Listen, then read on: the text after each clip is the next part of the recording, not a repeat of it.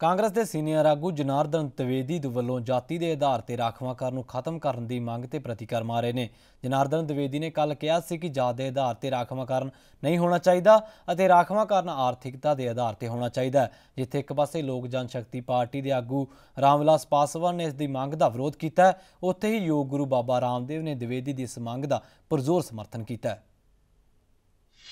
हमारी पार्टी का घोषणा पत्र बन रहा है उसमें उन्होंने बहुत सारे लोगों को शामिल किया है अलग अलग वर्गों की राय ले रहे हैं। तो मैं भी उसका लाभ उठाते हुए उन्हीं की शैली से, उनसे ये अनुरोध करता हूँ कि वे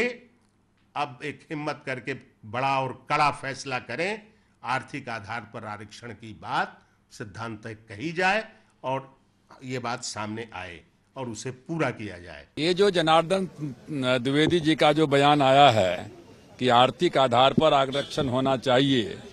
हम इसके खिलाफ में हैं और जो अनुसूचित जाति, जनजाति, पिछड़ी जाति का आरक्षण का मामला है, वो संविधान प्रदत्त है।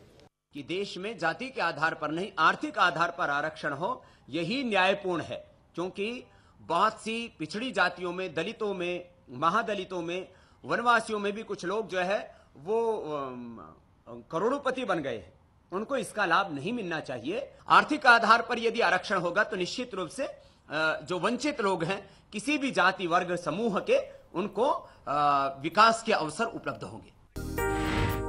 ਖਬਰਾਂ ਦੀ ਦੁਨੀਆ ਵਿੱਚ ਆਓ ਸਾਡੇ ਨਾਲ ਕਦੇ ਵੀ ਤੇ ਕਿਤੋਂ ਵੀ ਜੁੜੋ ਆਪਾਂ ਮਿਲਾਂਗੇ ਫੇਸਬੁੱਕ ਤੇ ਅਸੀਂ ਦਿਖਾਂਗੇ YouTube ਤੇ ਸਾਨੂੰ ਫੋਲੋ ਕਰੋ Twitter ਤੇ ਖਬਰਾਂ ਨਾਲ ਜੁੜੇ ਰਹੋ ਦਿਨ ਰਾਤ